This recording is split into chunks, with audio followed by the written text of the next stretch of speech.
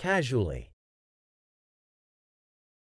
The word casually is an adverb that describes the manner in which something is done or the way someone behaves.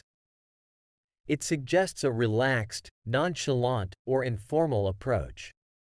When used in various contexts, casually can convey different meanings. Here are a few examples to illustrate its usage. 1. Dressing casually. She decided to dress casually for the party, wearing jeans and a t-shirt. He showed up to the job interview dressed casually in shorts and sandals.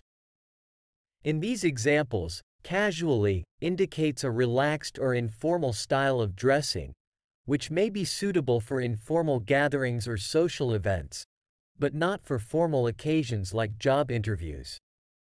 2. Speaking casually.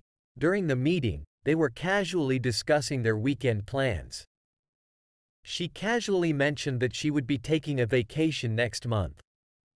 Here, casually suggests a relaxed or informal conversation that is not serious or formal in nature. It implies a conversational tone that is not overly structured or planned. 3. Doing something casually. He casually strolled into the room, not in a hurry or with any particular purpose. She casually mentioned that she had been to Europe several times. In these instances, casually indicates a relaxed or nonchalant manner of doing something. It suggests an absence of urgency or intent, as if the action is done without much thought or effort. 4. Mentioning casually. He casually dropped into the conversation that he had won an award. She casually remarked that she had met a famous celebrity. Here, casually implies a nonchalant or offhand manner of mentioning something noteworthy or significant.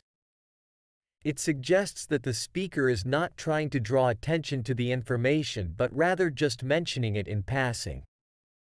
Overall, casually describes an informal, relaxed, or nonchalant approach to various aspects of life, such as dressing, speaking, doing something, or mentioning something. It conveys a sense of ease and informality in these contexts.